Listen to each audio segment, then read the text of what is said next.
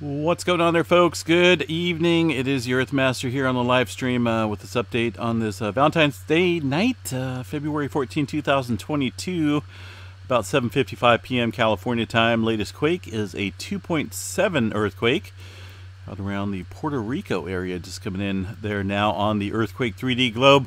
Looking at the latest USGS map here, uh, showing the activity over the last 24 hours or so. Uh, 2.5 and above shows some movement throughout the southern part here of the states. Around, uh, looks like a little bit of earthquake activity in Arizona as well. Seen a 2.5 earthquake uh, in Roosevelt, uh, Arizona, of all places, 9.8 kilometers uh, below the surface for that earthquake.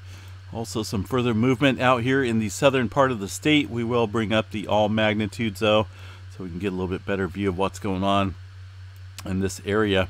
Uh, seen a little bit of uptick here north of Los Angeles. Seen this earthquake this morning, a 3.2, uh, striking up there north of the area, and also some further activity ramping up here around the Ridgecrest area, and also the uh, uh towards the Coso Volcanic Range up here to the north.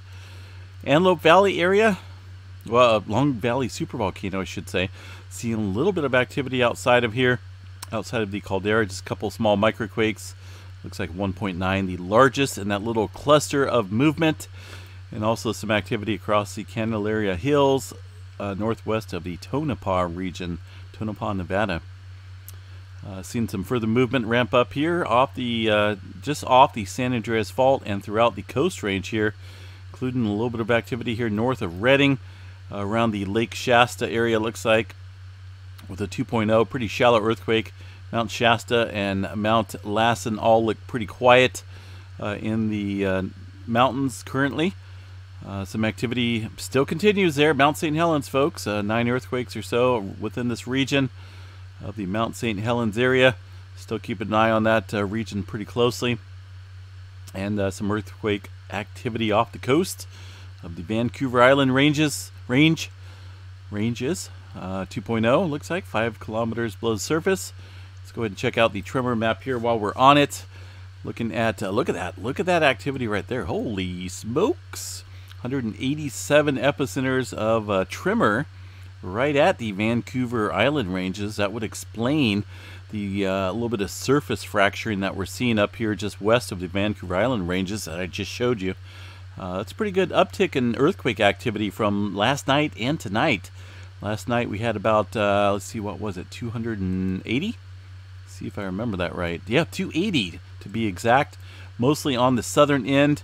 Uh, over last day today, though, the majority of it confined to the uh, towards the northern end of the Cascadia.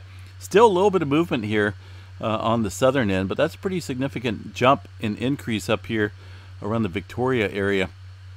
And once again, that activity uh, showing up there, uh, uh, creating some. well, you can see it there on the map some uh, surface quaking over here to the uh, west of the Vancouver Island ranges and some other uh, activity here. Looks like some quarry blasts or explosions out here is what it's saying on that map. Uh, let me check out the Earthquakes Canada map feature real quick here and see if these guys are reporting anything. Actually, these guys are showing quite a bit more.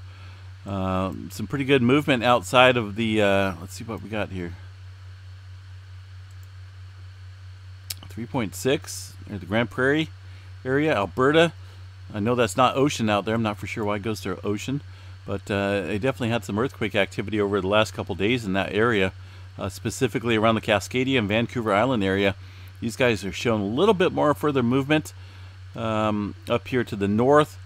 You can see that uh, red circle there. Kind of, I hate when it does that. But some small red circles indicating some microquakes and offshore too uh, just offshore along the um, plate boundary of the looks like right into the explorer plate up here west of the cascadia subduction zone. That's going to be this dark blue line right here. Um, and over here of course is the uh, pacific plate boundary with the uh, explorer juan de fuca and the gorda plate down south. Uh, but uh, yeah another earthquake up here that the usgs not showing. Port hardy bc area uh, kind of just to the west of the cascadia subduction zone as well earlier today. So heightened movement, and that's all due to the uh, subduction there of the uh, north of, of the um, uh, Cascadia subduction zone. Kind of, kind of uh, seeing that uh, take place here today. in an obvious way.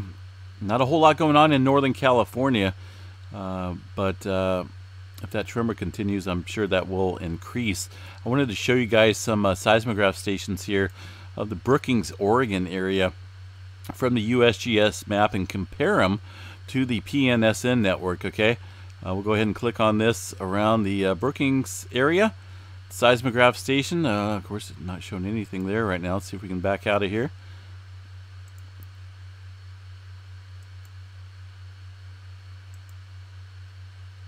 Okay, these guys are, hmm, that's a little odd.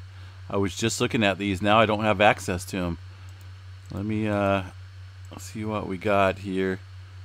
Okay, we'll go down here on this station. Okay, this there's this one's working a little bit. Okay, this is from the uh, past 24 hours or so. So shows part of February 13th, but I want to get to the majority of the 13th right here. Um, okay, now that's kind of weird. I just went to the 14th. There we go, 13th. Not a whole lot of activity on this map, right? It looks kind of odd. Just the data itself looks weird when it comes to reading a seismograph. And then I want to take you over here to the PNSN network and go down here to the uh, similar station, but through the PN, PNSN seismographs there around Brookings, Oregon, and check out what they have on their seismograph stations from the 13th here. Uh, let this load up here for a second. I'm just trying to show you guys the missing data that the, uh, here's the 14th, right? This is kind of today, earlier today. Definitely some activity ramping up, uh, some very small quakes, but uh, the previous day, the 13th, is kind of want to want to show you guys. Look at this distinct earthquake activity showing up here on the uh, Brookings, Oregon station. Very distinct, very localized activity. But when you look at the USGS map here, around the uh, time frame of what is that? Let's go back here. 1720 to 1820 time frame is what it looks like. If you check that out here, 1720 to 1820, look at that, nothing. It's almost like those earthquakes don't exist on the USGS map. Just kind of a confirmation now of uh, further uh, lack of reporting on the USGS here. They're just not getting in with the program when it comes to earthquake activity, and I'm not for sure why their seismograph stations now are not showing uh, uh any type of uh, any type of movement for that for that matter. But definitely showing up here on the PNSN network uh, within the vicinity of that prior station that I just showed you here from the USGS. USGS, PNSN network here. So uh, definitely some earthquake activity. I see these all the time pop up on the Petrolia station. Um, but uh, yeah, it's it's it's there for sure, folks. Definitely uh, earthquake activity happening there along the Northern California coastline and Southern Oregon as well. But the Cascadia sits right off there. Uh, what else we got here? Not a whole lot going on. Some movement throughout Texas and Oklahoma, eastern part of the country, pretty quiet. Puerto Rico, of course, that latest quake on the globe down there. Some movement out into the Puerto Rico Trench in the Mona Passage area. Uh, Middle America Trench looks pretty quiet for the most part, uh, except for a little quake off the El Salvador region, 4.3. South America pretty qu pretty quiet right now. Uh, Hawaii had some activity ramping up too uh, throughout the day today. Uh, looks like a little one here within the last hour, 2.0 near the Fern Forest, Hawaii area, just to the um, the uh, southeast of the Kilauea volcano, southeast flank region. Alaska seen a little bit of heightened movement up here, a little swarm fashion, pretty shallow earthquakes in this area uh, looks like about 10 kilometers for a couple of them, and then getting deeper into the subduction zone uh, with a couple of those quakes registering 20 to 30 kilometers downstream. So got to watch this area pretty closely. We start seeing movement like this along the Aleutian Trench. Obvious sign of some uh, impending pressure in that area. Uh, Japan, pretty quiet. One little earthquake off the coast there. Japan, east coast, 4.5. And uh, some activity throughout the Indonesia region and down through the uh, uh, the uh, Kermadec Trench area. Yellowstone activity, kind of making this a little short, folks. Uh, not going to make it a super lengthy video. Swarming activity has somewhat died down over here along the eastern part, borehole promontory area. Uh, but we are seeing a little return of movement here around Maple Creek within the last few hours. Distinct earthquake activity there. That's That's what earthquake activity looks like, and it's popping in there. Nothing big. If this was big, these would be dark, thick, red color lines, and uh, it'd be blasting all over the place across all these seismographs. But these are just very, very small microquakes. They are showing up along Holmes Hill in the Purple Mountain area, but uh, some small microquakes kicking up there in the uh, Yellowstone National Park area. But uh, then again, you know what? Nothing going on here. I'm wondering if these guys got the earthquakes from a couple days ago. Let's see if they've uh, registered them in. It looks like they've added a few. Yeah, from the uh, the 13th time frame, it looks like they finally added that little swarm. Uh, so far, they got about 42 earthquakes of, uh, you know, for the most part, I said they were all under two, and it looks like they were under two magnitude. A um, bunch of small microquakes around the Madison uh, area and also up here along the uh, Lake Yellowstone region. So I'm glad they got to them. That's that's hats off to you, uh, USGS, for at least adding them. It takes them a couple days, but hey, uh, at least they got to them. Now we wait for the uh, activity from the last 24 hours because there's nothing nothing there on the map. All right, folks. Uh, let's see what else we got here.